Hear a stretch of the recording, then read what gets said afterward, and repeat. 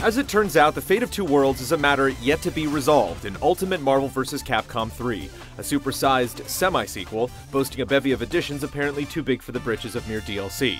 Instead, it's heading to market as a budget priced, standalone game, just months after the original came off the printing presses in February this year.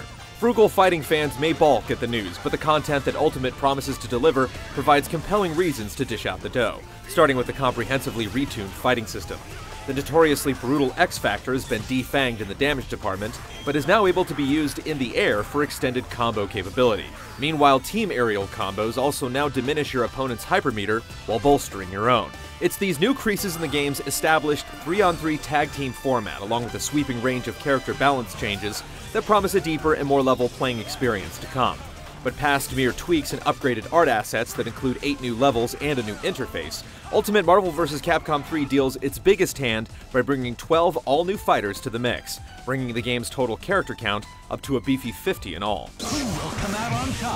Representing the Capcom side of the equation is fan favorite Strider Hiryu, looking true to his classic 2D self down to his mechanical menagerie of weaponized animal contraptions. Firebrand of Ghosts and Goblins fame marks his second surprising appearance in a Capcom fighter, conforming neatly to the frantic pace of the Versus series with a dizzying array of breath and flight-based attacks. On the Marvel front, Johnny Blaze rides again with Ghost Rider's infernal moveset of Hellfire and Chains, while the fourth Avenger on the roster, Hawkeye, brandishes a tricky projectile-based playstyle focused on keeping enemies safely subdued from a distance. Capcom has been officially mum on the rest of the expanded roster thus far, but the community seems confident that certain characters, including the likes of lawyer extraordinaire Phoenix Wright and Doctor Strange, will be joining the fighting fray in November.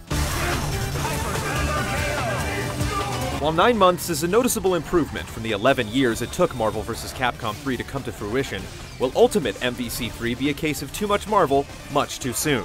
Stay tuned, true believers, for more information in the not so distant future.